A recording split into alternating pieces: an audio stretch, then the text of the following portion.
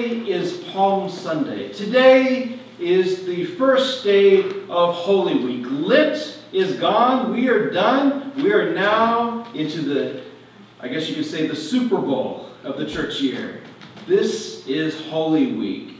Today begins with Palm Sunday, and then Thursday, we have Maundy, Thursday, when we gather with Jesus around the table. And then on Friday, Good Friday, we go to the cross and we bear witness to Christ crucified on the cross. And then on Saturday, Saturday, we hold vigil at the tomb. On Saturday, Holy Saturday, we light a fire with our Lutheran brothers and sisters at Christ the Servant. And then we bear witness to the empty tomb.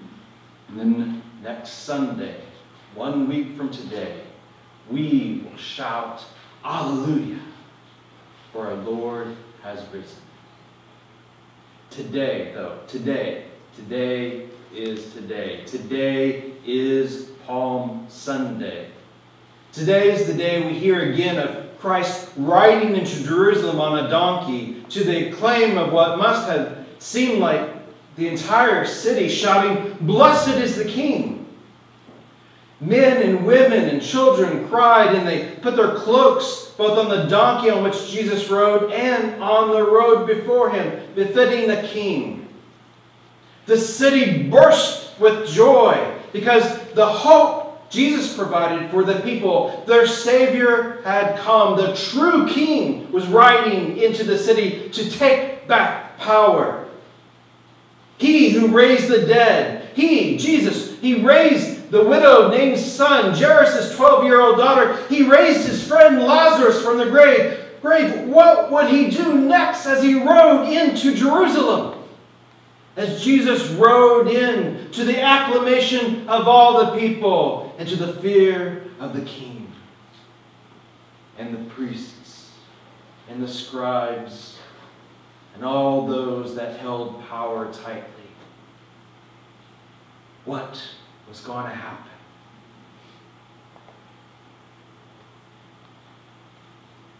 But today is Palm Sunday.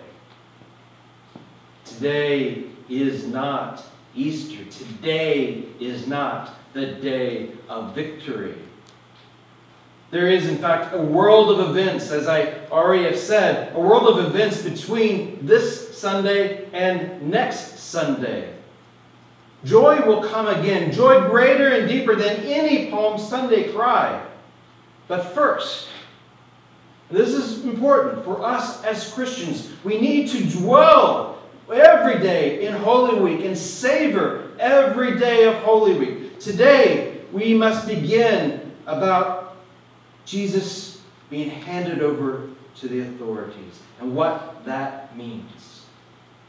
All who put their cloaks on the road before him will rip them out from under his feet. All those that supported Jesus will betray him just as Peter did. Once, twice, three times. Have you ever denied Christ as your Lord and Savior? as Peter did. This week, we will dwell with Jesus as he suffers, as he is ridiculed, as he is tortured, as he is crucified and dies. On Palm Sunday, this first day of Holy Week. Jesus is the Savior the crowd senses he is. They know he is different. He is special. There is something about him. God is with him.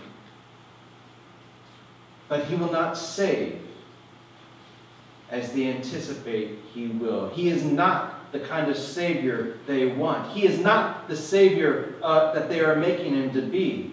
God is not who we want God to be. God is God, and so is Jesus as he rides in this Holy Week into our lives.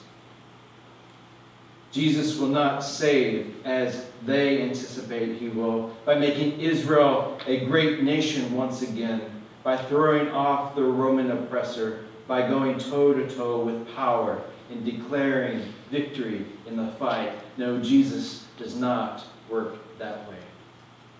God does not work that way.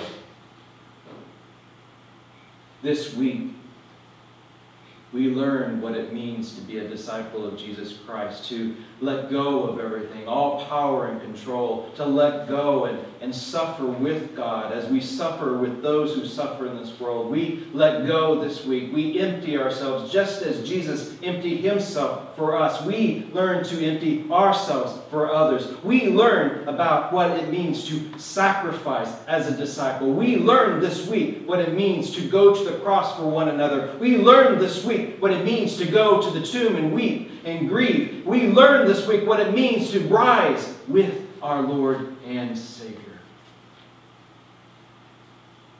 Blessed is the Lord indeed as we shouted as Jesus enters this week into our lives. Blessed indeed is the Lord, for he will save in an entirely unexpected way. Jesus will enter into our lives in ways that we never dreamed, where our faith will be renewed in ways that we never imagined. Jesus will come to us into the quiet of the hour. Jesus will come into us by our prayers, into our hearts, and will bless us.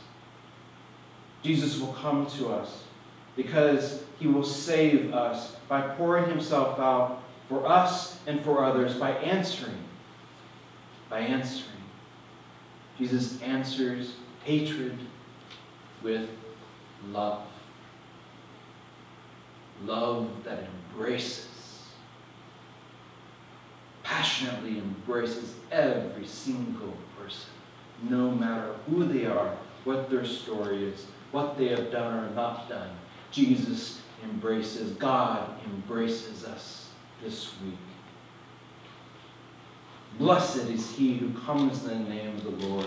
He will do this for love, by love, and in love.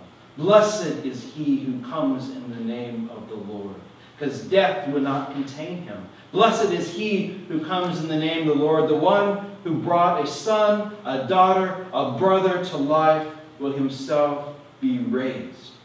The first fruits of God's promised victory of life over death.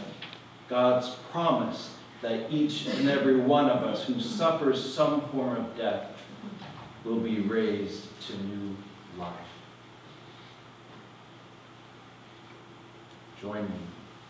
And those who share in his life, death, death and resurrection will sing and dance before the Lamb of God, seated upon the heavenly throne. Alleluia. Amen. Come.